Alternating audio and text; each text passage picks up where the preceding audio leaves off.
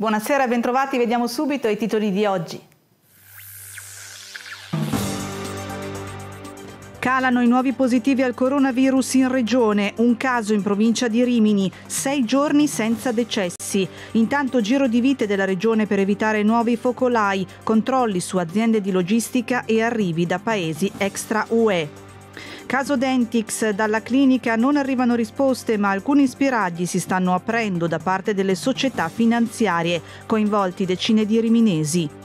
Commissione consigliare Fiume oggi a Rimini per fare il punto sul futuro del CEIS e dell'anfiteatro, confermato il trasloco in area Settebello. Sabato in piazzale Fellini il movimento delle sardine per Black Lives Matter contro il razzismo e in piazza Cavour le sentinelle di Restiamo Liberi che si oppongono alla proposta della nuova legge sull'omotransfobia.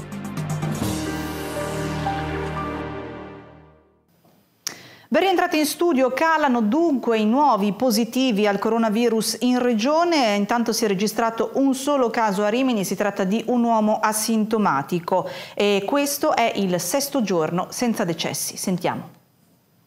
Ieri erano 71, oggi appena 18 nuovi contagiati in Emilia-Romagna, una sensibile diminuzione che in parte si può spiegare con il minor numero di tamponi effettuati, 2000, a cui si devono aggiungere altrettanti test sierologici.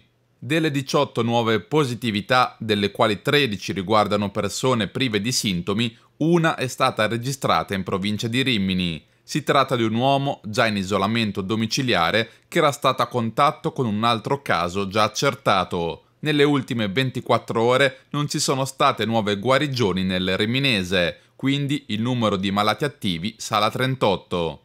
La miglior notizia di giornata però riguarda i decessi. Per il sesto giorno consecutivo nessuna vittima da coronavirus nell'intera regione. Resta stabile il numero dei ricoverati nei reparti Covid, mentre scende sotto quota 10 quello delle persone in terapia intensiva. A livello regionale sono 5 le guarigioni comunicate, 13 invece i casi attivi, cioè il numero dei malati effettivi, ancora 1193 in totale. Sempre monitorati con attenzione i focolai bolognesi alla TNT e alla Bartolini, così come quello scoppiato ieri a Modena in un prosciuttificio, dove sono risultate positive 18 persone.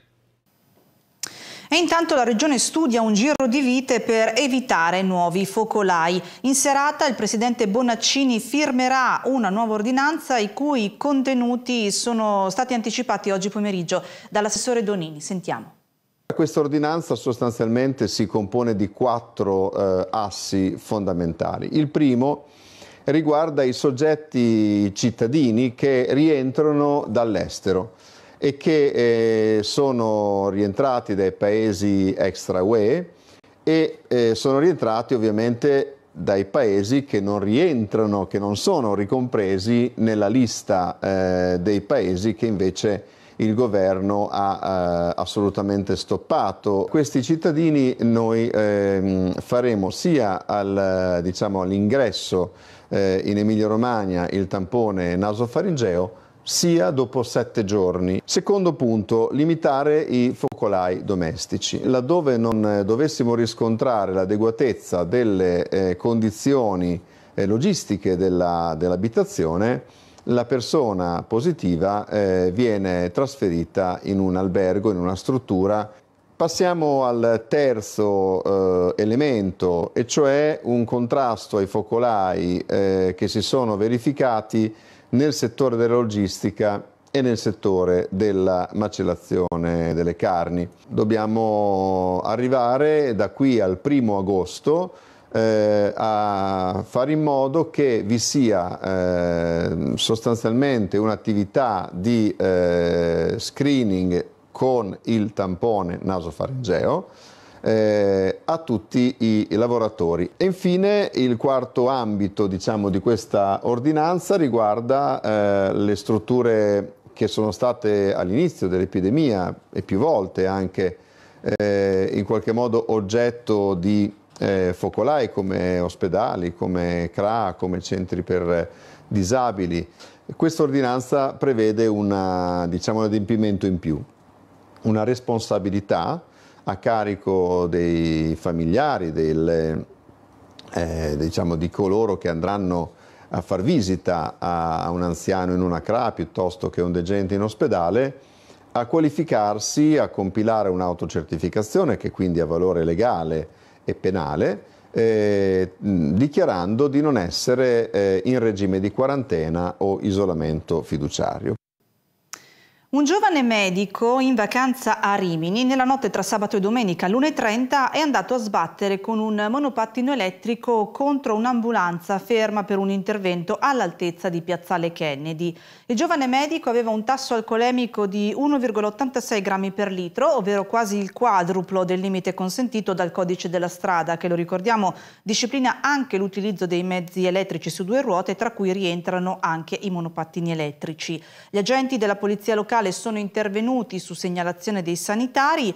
Per il giovane non è scattato il ritiro della patente perché non è eh, necessaria per condurre il monopattino, ma è stato denunciato per guida in stato di ed è stato segnalato alla prefettura.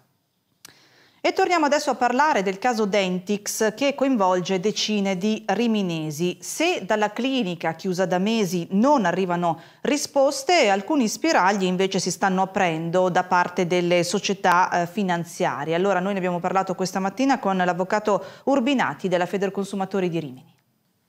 Sembra ancora lontana una schiarita sulla travagliata vicenda Dentix, la catena di cliniche odontoiatriche spagnola che conta 57 ambulatori in tutta Italia e che non ha più riaperto dopo il lockdown. Lo scorso 25 giugno la società ha fatto richiesta di concordato preventivo al Tribunale di Milano, ma nel frattempo sono tanti i pazienti in difficoltà, dal punto di vista sanitario, con interventi lasciati a metà o neppure iniziati, e da quello economico, con cure già pagate e contratti in essere con le finanziarie da onorare.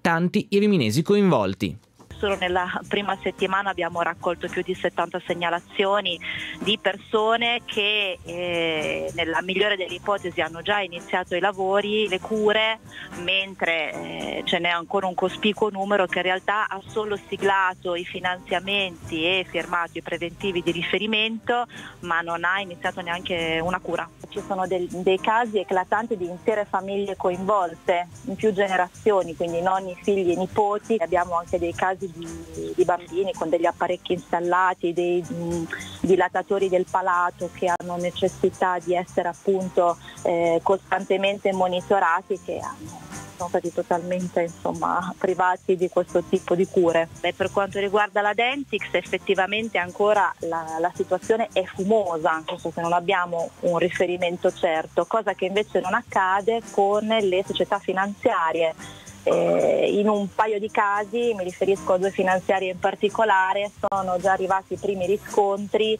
che eh, consentono in questo stato emergenziale, perché effettivamente è un'emergenza, di sospendere il pagamento delle rate almeno fino alla, alla fine del mese di agosto, in attesa di verificare appunto situazione per situazione.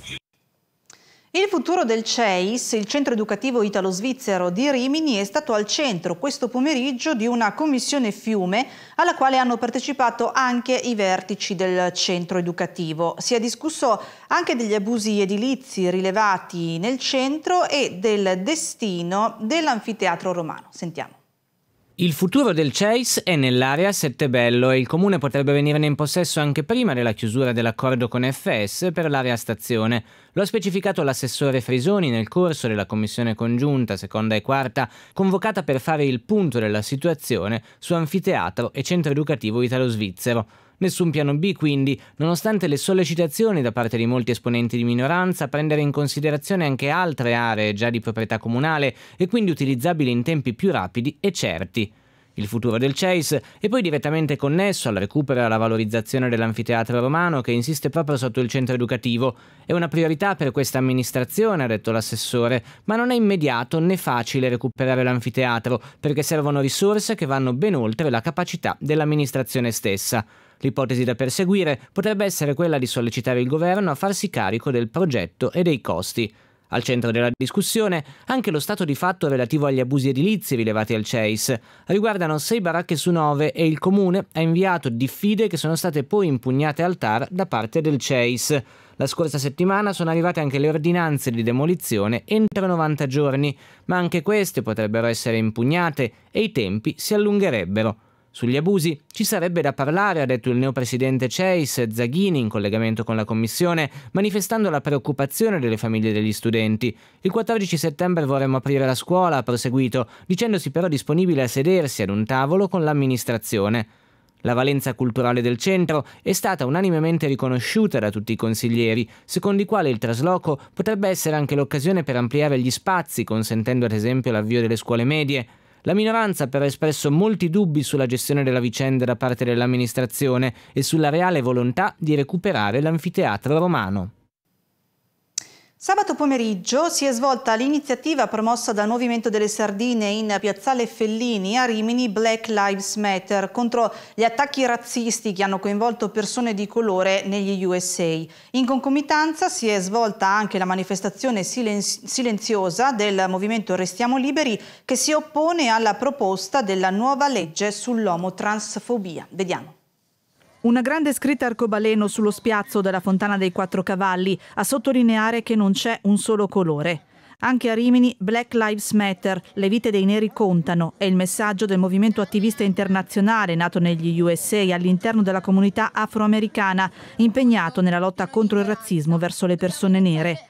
Rimini ha preso una posizione chiara nei confronti degli attacchi razzisti che purtroppo sono ancora troppo presenti negli USA ma anche in Italia e in Europa. Rifiutiamo ogni tipo di discriminazione, di odio razziale, di abuso di potere, recitava l'invito alla manifestazione. Molti dicono che uh, sia ridicolo dire che le vite dei neri contano perché tutte le vite contano. Ed è vero, tutte le vite contano, però mi chiedo, le persone sono mai state ammazzate per eh, il loro colore di pelle? Ma noi con questa scritta abbiamo voluto ribadire che siamo tutti uguali. Fatevela questa domanda. Cosa ti cambia? Cosa ti cambia avere una persona nera vicino? Non cambia assolutamente nere, niente da avere una persona bianca vicino. Io non vedo neri o bianchi, io vedo persone la manifestazione ha raccolto anche le rivendicazioni di Arcigay contro l'omofobia. In concomitanza, sempre sabato infatti, ma in centro storico, in piazza Cavour, come in decine di altre città italiane, si sono svolte le iniziative della campagna Restiamo liberi, 100 piazze per la verità, promossa dalle Sentinelle e altre realtà che si oppongono alla proposta della nuova legge sull'omotransfobia, definita una legge liberticida. I partecipanti hanno manifestato silenziosamente mostrando dei cartelli. E per noi è tutto per questa edizione, vi ringrazio dell'attenzione e vi ricordo che domani mattina c'è il consueto appuntamento con la rassegna stampa locale a partire dalle 7.30, poi tutta la mattina dedicata agli approfondimenti e alle informazioni. Vi ricordo ovviamente il nostro sito di informazione newsrimini.it, le frequenze di Radio Icaro e anche la piattaforma Icaro Play sulla quale potete rivedere tutti i nostri contenuti e i nostri programmi. Grazie, buona serata.